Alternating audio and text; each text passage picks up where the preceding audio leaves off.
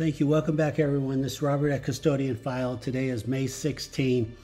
Let's just jump in. This is Chip in Florida, just recording airplanes over his over his house, and sure enough, this is all it takes. There's these small UFOs flying around right in front of us. Very small, very fast, 2,000 miles an hour, and they do trigger the X and K band uh, spectrum about 8% of the time and they make an audio sound about 8% of the time that your video will detect.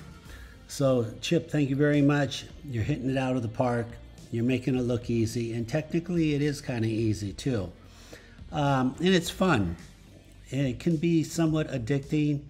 Uh, once you get one dragon, you want 10 more, and then after you have 10, you want 100. So, it's kind of fun. So, I'm just putting it out there. Uh, let's go to the next video. Okay, super. I wanted to just show you this picture real quick. Brand new technology in Iceland. Essentially, it's an air scrubber. It's going to clean the air on the planet. I know, super amazing, right?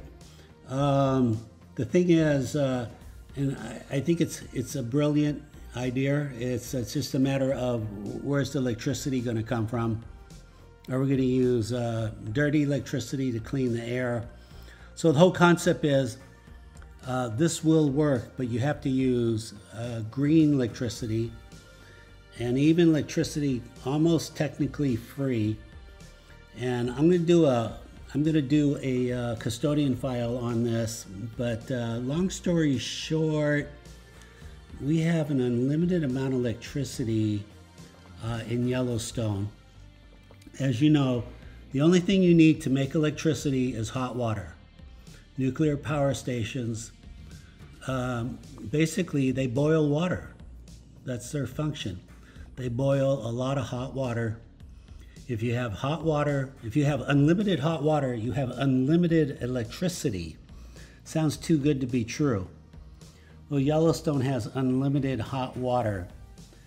So my point is, uh, uh, now I'll write down all the uh, all the advantages. I re- really don't know any negative advantages, but um, if you uh, if you figure it all out, Yellowstone can generate enough electricity for the planet, uh, and therefore basically solve the energy crisis.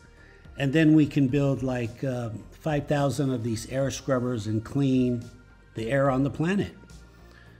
And it won't uh, it won't uh, we won't fall behind as far as pollution goes. I'll revisit this later. I just wanted to put that out there. This is where we're going. All right, let's go to the next video. Okay, this is Chip in Florida recording the Thunderbirds. They came by, and uh, sure enough, look at this. This uh, this dragon slowed way down, way down, and approached the uh, jet. So what I did was I went on YouTube. I looked at other people's videos. And let me show you the other uh, dragons I found on YouTube. People are posting, they don't even know it's there. Let's go for it. Great, here's one more chip video where this, uh, look at this, look at this dragon it's behind the tent and is starts off vertical, it goes up, it goes down. They're sprinters. By the way, they're sprinters. They go up and they go down. Very predictable. Uh, they don't stay in the air very long. They're not marathon runners. Uh, here is a another, I believe uh, that's yeah, that's a dragon. Yeah, I found this on YouTube. That's a real dragonfly. Amazing. That's why I call these things dragons. But that's a real dragonfly, and the one previous was actually a real UFO small dragon. There it is. There's the timeline. There's the IP of both ones, the uh, the UFO and the real dragon. There it is. It's slowed down. That's that's the real puppy right there all in a blink of an eye, all in the blink of an eye. And then that's a real dragonfly. You can see how slow it is, very recognizable. It's not fuzzy, not blurry. It's very long. You can see four wings on it. So there you go. All right, let's go to the next video. Look at this. There's a video from six years ago. I was just uh, cruising through all my library and here we go. It looks like it could have been recorded today. Same format, slowed down to 3%. Look at this dragon coming in. It's easily outrunning the rotor blade, easily. So this is the same old format. The police come in um, from Malibu, they come in from the north, they fly south, they go down the coastline, and then they make a hard left turn right over the jetty rocks. That's why you see the profile of the chopper. And boom, right in the same spot, in the same corner, uh, the same zip code in the sky. Basically within a 500 or 1,000 foot radius, dragon comes by all the time, which is very predictable. I really like what I like about this is the blue sky.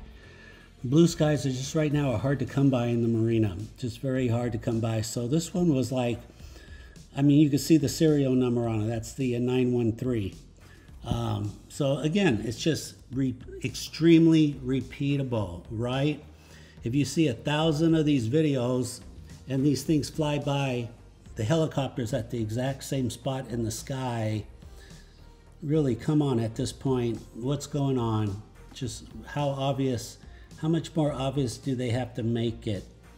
Uh, same identical spot same and that was six years ago. It looks like i could have just took it today so i'll show you some other old videos from six seven years ago also but it's just mind-boggling right you just close you're, you're like no, what are you? You're, some of you, I know you're probably saying, Robert, what are you, what are you talking about? These things fly by at the exact same spot with predictability.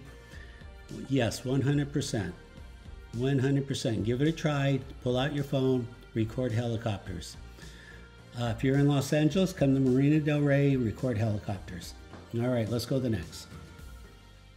Okay, real quick, I showed you this. Uh, uh, last week. This is the Coast Guard flying grids over the ocean right in front of Marina Del Rey. From Marina Del Rey down to Manhattan Beach, back and forth, back and forth. At the same time, the research vessel is parked right there in front of them, the Ocean um, Titan. So the point is, they're doing everything they can, right? I mean, I mean, they're doing everything right. You, uh, you get research vessels, you get sophisticated equipment in the air, you fly grids, and you, you try to figure this out. So the point is, um, why am I showing you this again? Because uh, the LiDAR people have come back again, again, and they're flying grids. Let me show you that. Okay, here we go. We got another uh, grid finder. This is the LiDAR. This is the LiDAR, the 220. He's been around for a few years. He pops in and out, in and out. Um, obviously looking, looking for something. Um, I can't read his mind, but it's kind of obvious. Uh, what are you guys looking for? Remember uh, last week the uh, the 216 was 216 was flying around doing grids over Marina Del Rey. So it's it's amazing. All this effort is being done, and nothing is being said. I mean, help me out here. What do we do? We're measuring air pollution. What are we doing? What, what are we? What are we looking? What we're looking for missing people? Just seriously, what's going on? Who's spending all this money? What are we looking for?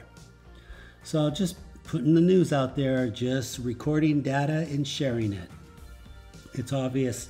It's very obvious that um, a, a lot of information is not being told to us a lot, and it's happening right in front of us.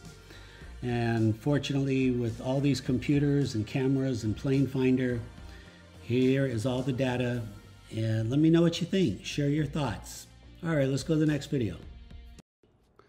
Super. Okay, uh, we're going to end on this video. This is from uh, John at Latchkey Hustle. He was he was able to record two aircraft that's kind of hard to do, but two aircraft, one of them being a Black Hawk, and look at this. He caught a UFO, UAP Dragon just flying in between them, which uh, you're supposed to actually. That's how it works. That's the science. Very predictable, textbook video. Very textbook. If you're not recording dragons, if you're following the format, you're not recording dragons, keep recording them because something's not right. Uh, they're right there in front of all of us. Just turn your phone on, landscape, and record. They're very fast. Look for a tiny dot. All right, that will do it for today. This is Robert at Custodian File. Thank you for watching. Take care.